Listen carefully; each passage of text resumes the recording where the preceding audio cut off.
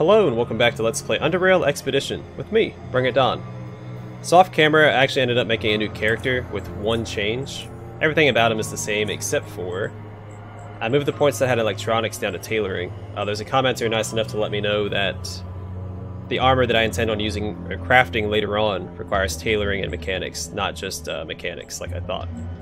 So again, I'm not an expert in the game. I know some of the ins and outs, but definitely not all of them. Um, and then I had some questions about feats and attributes. Uh, so my primary objective is to get my strength to 11, so I can use the Iron Grip feat, which allows me to use a spear and a shield at the same time. Uh, after that, I am going to focus on getting my dexterity up to 5, so that I can use the other spear feats. Uh, I think 2 or 3 of the spear feats require 5 dexterity. Uh, every 4 levels, I get a point that I can allocate into one of these. So, uh, my focus, again, 11 strength and then 5 dexterity. So that's got me covered until level 12. Uh, past that, I'll probably focus on, like, strength. Um, I know I mentioned a feat that required 6 intelligence. I'm not, uh, I'm not very concerned about that. I'm not going to think that far ahead right now. I probably won't be getting Weaponsmith. That was on my maybe list of feats. Alright, let's get the tutorial started. Uh, can you hear me? Loud and clear. Great. I'll pick up your weapons and armor from the cabinet. I think there's also a few EMPs left on the shelf as well. So, you can hold tab. Okay. I'm not going to read the, uh, the, the tutorial dialogue. Because I'm not super concerned about it. Plus, it's for me. Uh, there will be three bots fighting against you, just like the first time. So choose an appropriate weapon and make sure you wear that armor. There was this guy a few years ago who forgot to put on his armor, his armor on, and well, it didn't end well. Take those bots out. Okay, I know how to do all that. I'll ring me when you're ready to proceed, or if you have any questions. Understood. Alright, some EMP grenades. Fantastic. Pistol, ammo, crossbow, bolts, knife, hammer, and insulated vest. Oh, 200% against bullets and shotgun shells. I'll equip that, equip that. I'll bring the pistol. Is the pistol loaded? There's a better way to do this. You can hold shift right.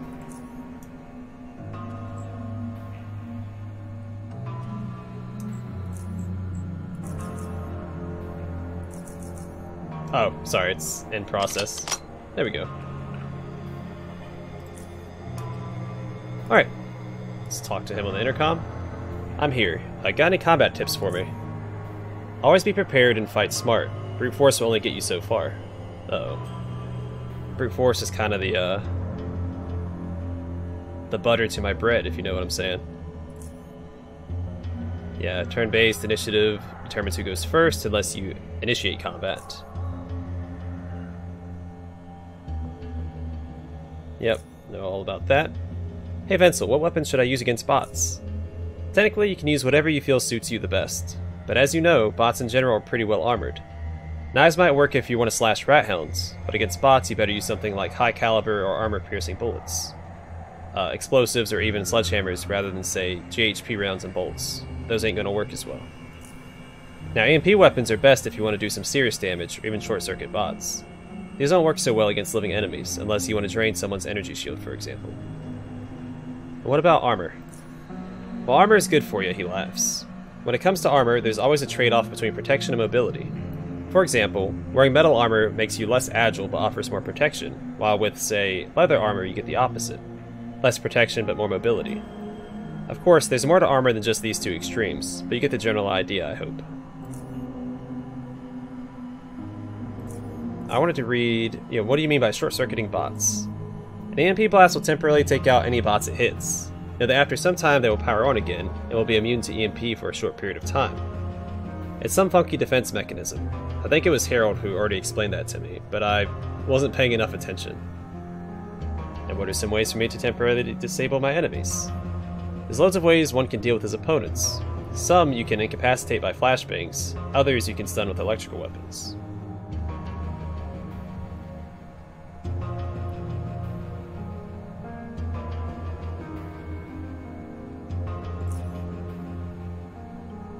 Uh, you can use traps, or if you're good with uh, psionics, you can even mess with people's heads. Just remember that what you can do to others, they can also do to you. Alright, um, how do I use my weapons and devices more effectively? Uh, keep important items where they're easy to access. Yeah, so the action bar.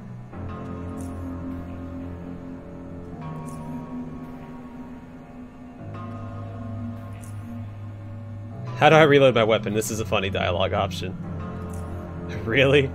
I've already showed you how to reload. Um, if you have it equipped, you can hold shift to reload it. Alright, open the gate.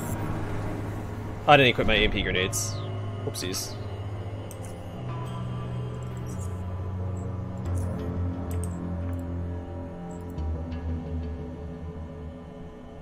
Um, yeah, I'll just run them down.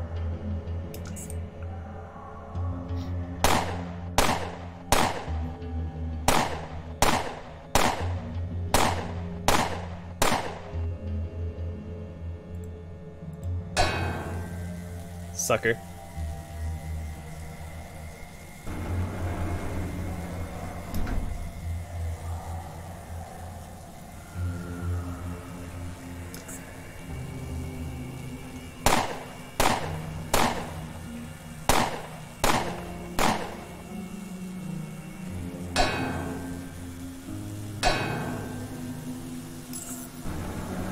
Alright, all done.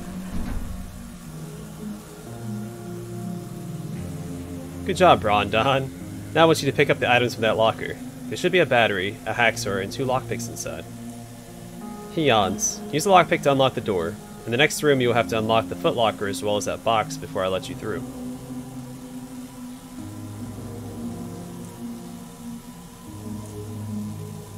Okay. So this requires what? Lockpicking of one? So two lockpicks, supercharged lithium cell for the hacksaw, I assume. Let's go ahead and put these on our action bar here.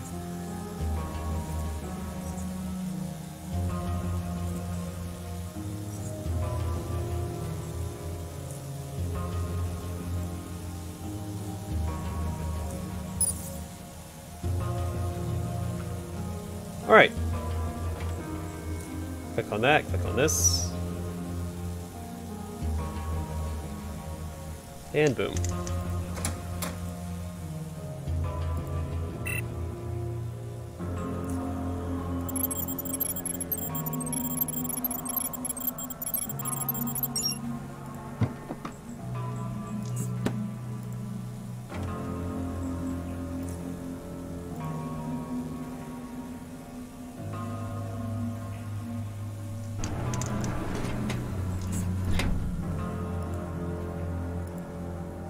Uh, good, good. Now for the final room. Here you've got one sentry bot and a camera. Try to sneak around the bot if you can. This one will not shut down after one hit, just to let you know. Enter stealth mode, yada yada.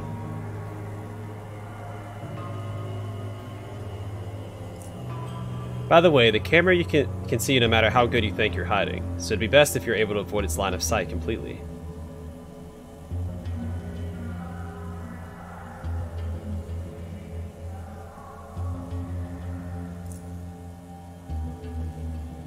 That tactical vest might not be the most appropriate thing for sneaking, but it'll do for now. Alright, so enter stealth here.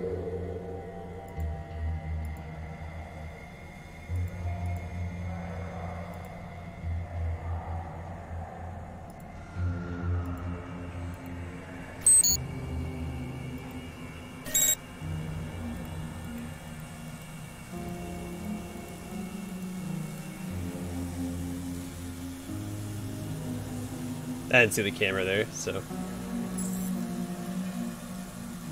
Oops. I'll bring it on, Sentry Bot. This is how most of the game is going to go anyway. I'm going to try to sneak, and it's going to fail. It's going to turn into this.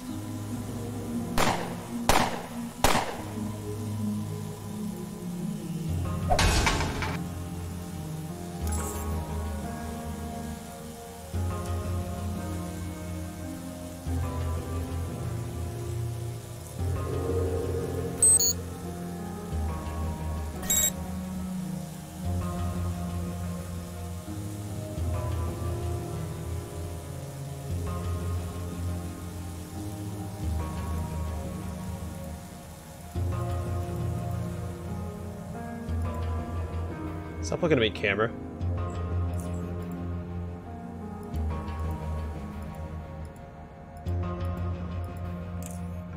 Oops, didn't mean to do that.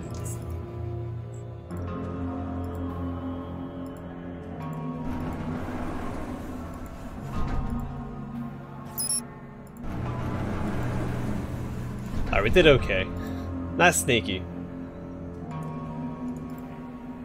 Well done, Brondon. Hope you're satisfied now. He yawns. Will my performance in this round affect my overall results? Nope. Alright, I'm done here. It's time to check out my new room. I have no doubt you'll like it. I've yet to see any newcomers complain. He laughs. Continue. Oh. Nothing more to say than congratulations again, Brondon, and welcome to Southgate Station. Go and get some rest. Alright, see you around, Pencil.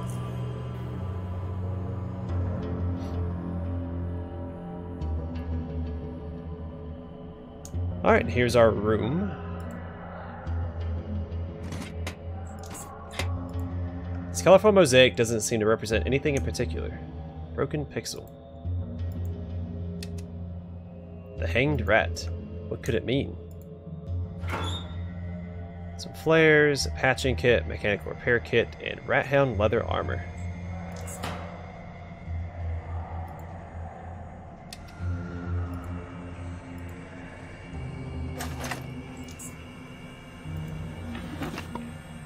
Compass, some credits, and private quarters key.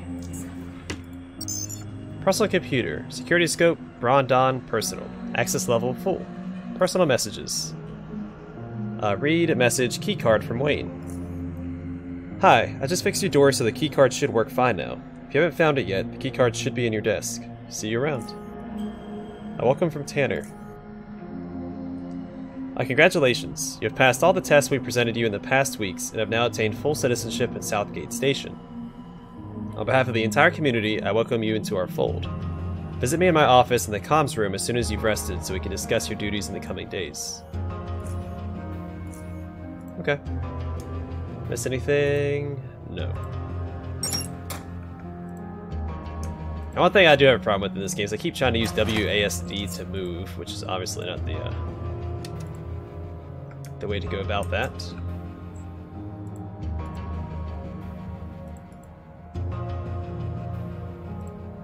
Yeah, I'm not going to try and break into anybody's rooms.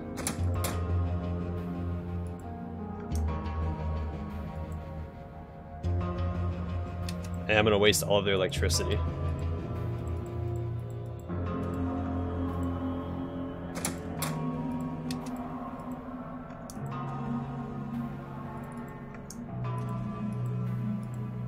So if you look at the map, this is how it works. It's uh, I like it. I like how their their maps work. I think it's pretty straightforward.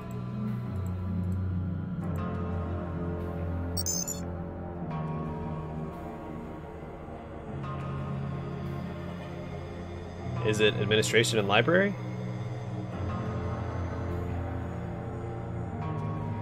This is where we're at now, right? We're on level one. Private quarters. Alright, so yeah, administration is where we need to go. No, we need to go see Tanner at the Commons and Cantina. So let's go do that first. I saw office in the other description. I was like, oh, that's where I need to go. It is not. Hello?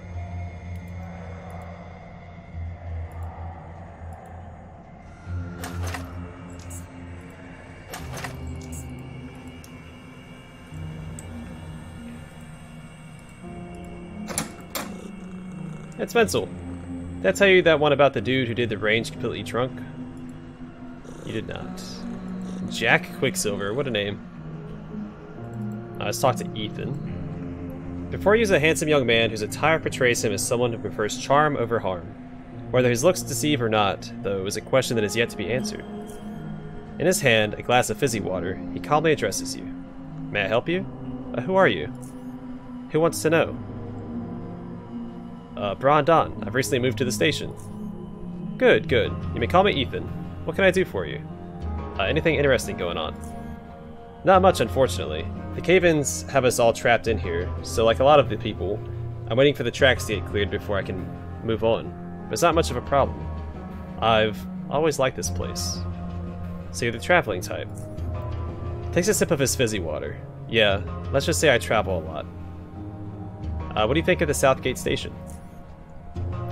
I've been here before many times and will return again if time allows. There are places where more fun can be had. Nothing tops Core City in that regard, at least not in the South Underrail. But Southgate Station is a place which I find most relaxing. It is a safe, well-defended station with civilized citizens. The earthquake sort of forced me to stay here, but I don't mind. Moreover, I'd rather be stuck here than at some low-life infested bar worrying whether someone is going to try whether someone is going to stab me in the back. Uh, where will you be going after the rocks have been cleared? I'm thinking Core City. City. Probably Core City. But the life of a traveler is an unpredictable one. And why are you drinking fizzy water? Water is the best drink. The fizz simply makes it a bit more interesting.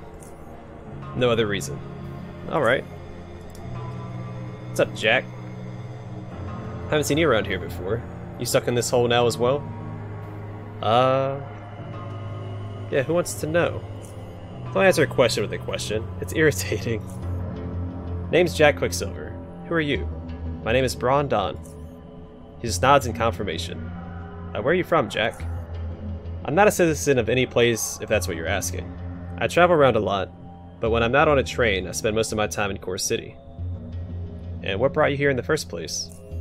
A lucrative business opportunity, but it slipped past me, unfortunately. Uh, what do you do for a living? Are you a trader?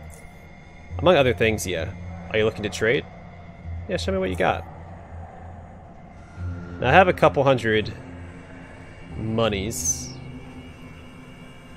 And there are different currency types depending on the location that you are in.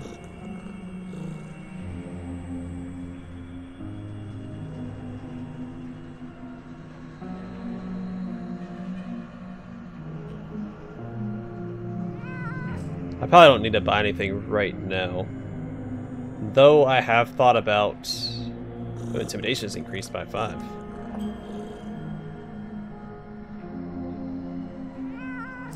I was thinking about grabbing... Oh, where's it at? Some lockpicks. But I know that he has them, so I don't need to buy them right now.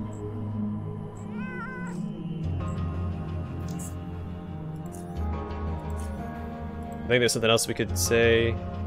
Yeah, what happened with that business opportunity? It's a business secret. If you're interested in doing some work, though, that's something I can arrange. Uh, what kind of work?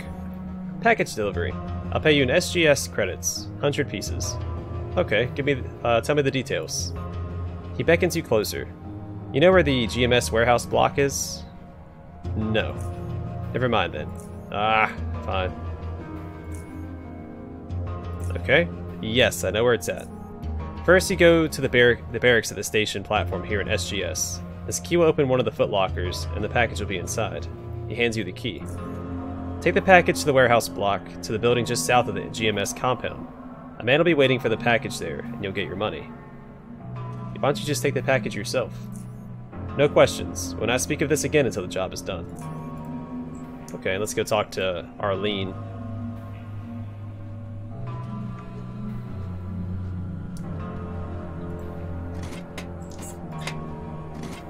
If it doesn't count as stealing. Alright, those two. You met Arlene during your testing period. She's in charge of food preparation and rationing. Huh, we used to make fun of Tanner's stupidly high standards when admitting new people. Not the end of the world if we get someone imperfect, we said. And here you are, bringing us earthquakes on day one. Very funny, Arlene. I was only kidding. Don't take it too seriously. Anyway, what do you need? Who's that dandy over there? Over there? That's Ethan Lanford. Uh, what can you tell me about him? He's a handsome man. Man. Comes to SGS from time to time. Always dressed as sharp as a razor. He's always flirting with the ladies. No exceptions. I've seen him entertain quite a number of them. Well, myself included, with some unusual psionic tricks. Tricks? Well, he's a, what you call it, a temporal manipulator. It's one of those psi abilities, but the thing he does I've never seen anyone else do before. He can manipulate time, but only for specific objects, like slowing down a fly so it moves its wings in slow motion, or making things hover in air, that sort of stuff. It's all parlor tricks, fun and unusual, good to attract the ladies. His good looks and charisma make him make them stick around though. That's his real magic. Hmm. uh, know anything else about him? Where he's from? What does he do? Not much. He's talkative, but reveals little about himself, when you think about it. No one knows where he's from or what he does. He usually comes alone, maybe leaves with a girl, maybe not. Depends. Always drinks fizzy water, yes. Has that temporal manipulation thing going for him. And that's all I know, really. Oh yeah, dresses as sharp as... Oh wait, I said that already. Uh, so what else is new besides the earthquake? Uh, or how bad... So how bad was it, the earthquake? For us, not that bad. The south tunnel collapsed, so the train is out for a while. The station itself didn't suffer any major damage as far as I know. I heard it's much worse up north. Something about a Union's freighter crashing and getting buried on a side rail near Core City. Man, I can already imagine all the vermin crawling out of their holes to take a bite of take a bite of that cake. And I'm not talking about rat hounds. Uh, so what else is new besides the earthquake? Gorski's gathering up his squad. Don't know what they're up to, but they're armed. Uh, got any rumors? There's been very little pirate activity lately. The Black Gill seem to be doing a darn fine job. Uh, Harlan and me told me he started seeing more and more lurkers near the underpassage, underpassage's exit. Apparently, the free drones are becoming more and more active in South Underrail. Some even say they have a hideout in Junkyard. Okay, that's enough uh, rumors for now. Did I barter with her? What does she have? Stuff, okay. Oh, keep doing that. I'm trying to use WASD to move the map. Or, yeah.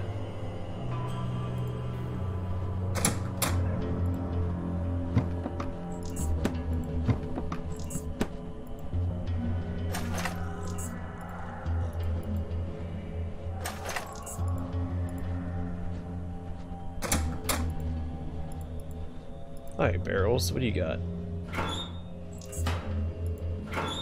Nothing. Okay.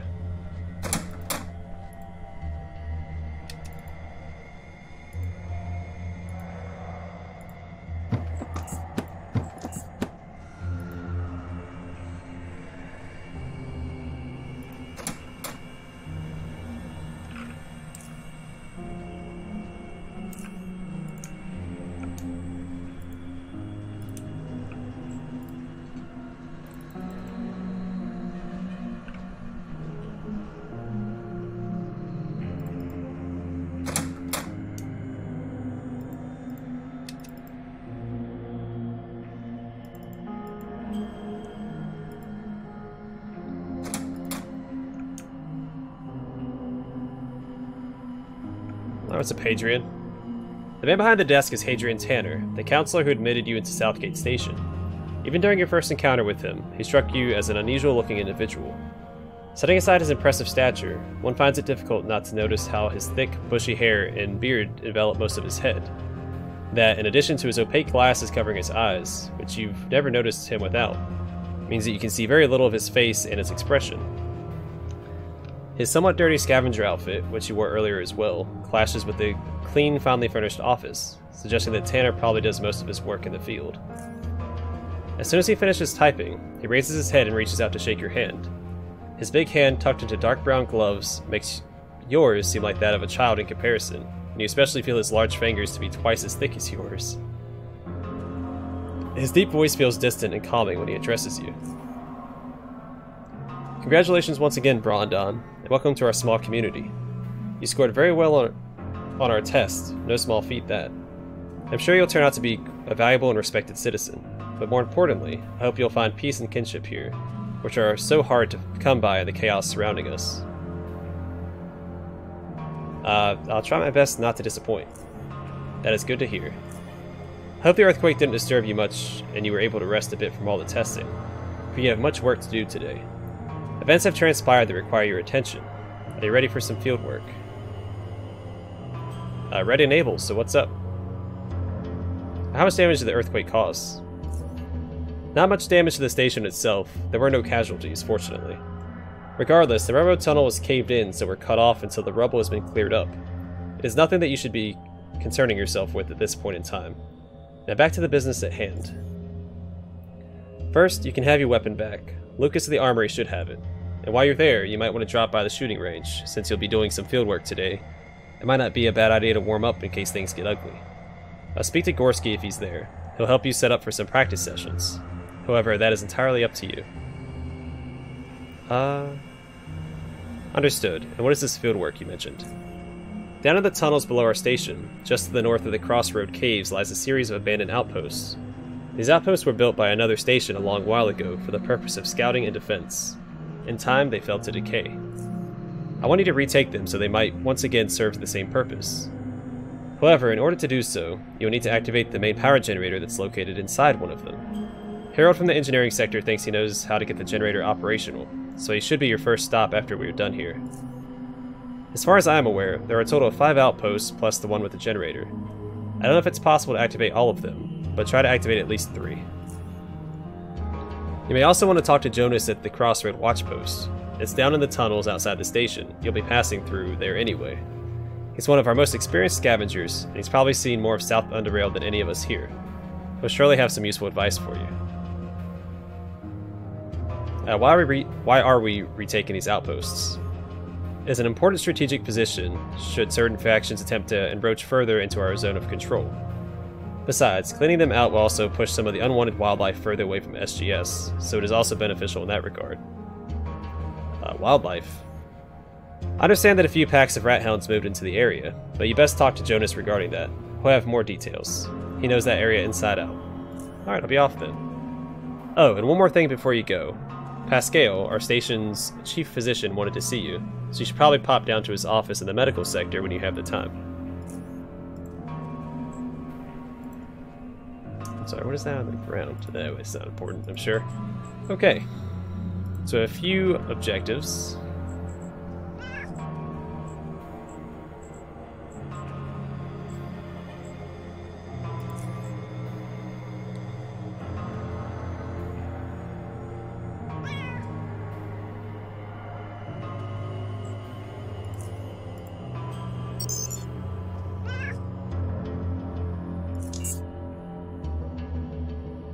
So I'm gonna try and get the package for the uh, for this first.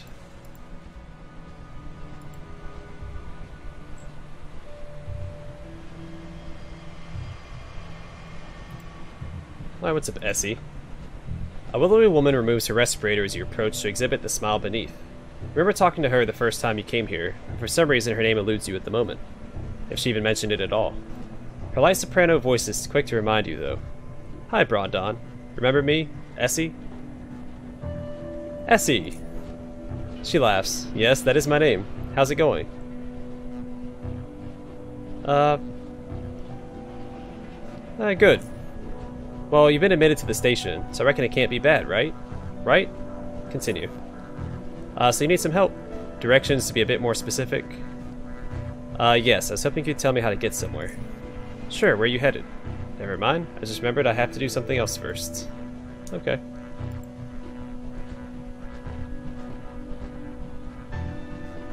So is that where I need to get inside of? Let me check my notes again. Near the tunnel take it to the warehouse. Near the tunnel. So maybe it's over there? No.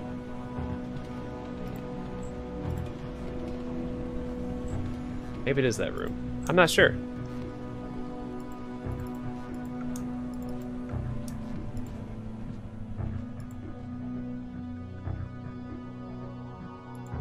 I can't cross? Okay.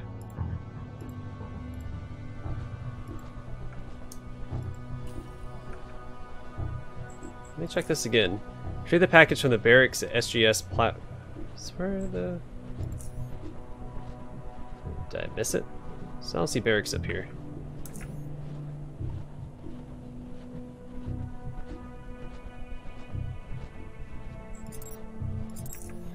Hmm.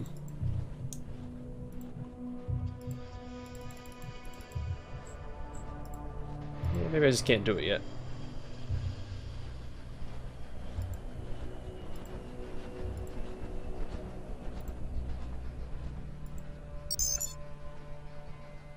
Uh, so Medical wanted to see me, so let's get there.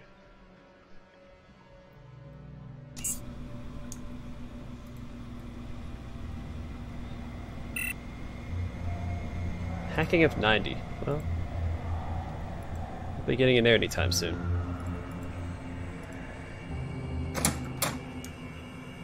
Bodybuilder, what's up, man? I work my pecs often, but when I do, I hit them hard. Good to hear, man. Good to hear.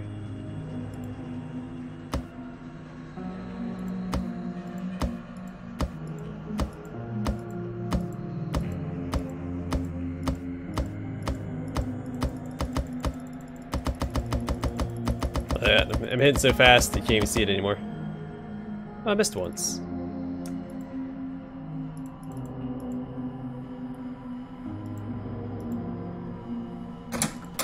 Alright, I don't want to talk to Pascal yet, because I'm going to call it an episode before I talk to them.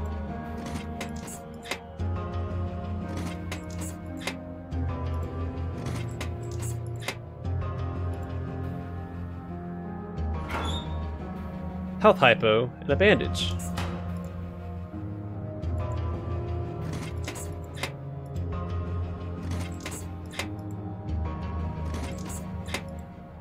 Luckily, there were no fatalities in the earthquake. Well, who's this guy?